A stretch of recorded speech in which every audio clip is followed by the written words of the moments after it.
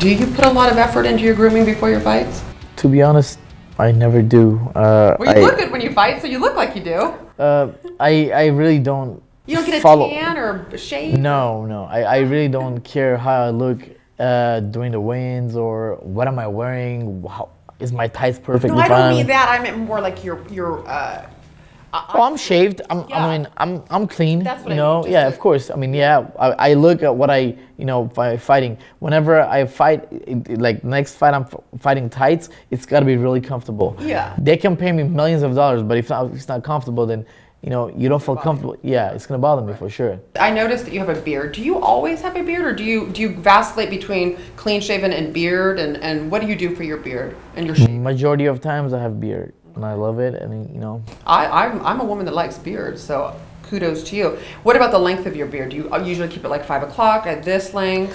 uh, you know, uh, I usually keep it like this. You know, uh, it's kind of is this three o'clock or nine o'clock? What is No, no, this? no, no. This is more like th- uh, this is more like four, four days. well, Okay. you're Armenian, so it could be forty days.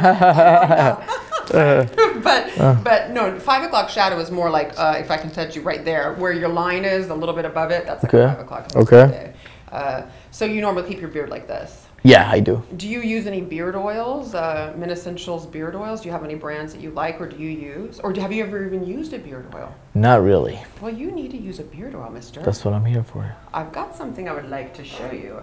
This is called Beards and Beavers. Mm. Don't let the name, it's a kind of a nutty name. Smell this. Doesn't it smell good? Whoa.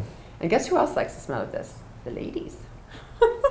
So this is like this is a moisturizing. You put it on your beard. Obviously, a clean face, clean beard, and you just put it, put a touch in your hand, shimmy it over your beard. Mm. Off you go, smelling good for yourself and the ladies, or lady. Okay, Or and no and it's gonna look good, so that's a big plus too, right? Yeah, it's gonna put a little shine on your cheeks.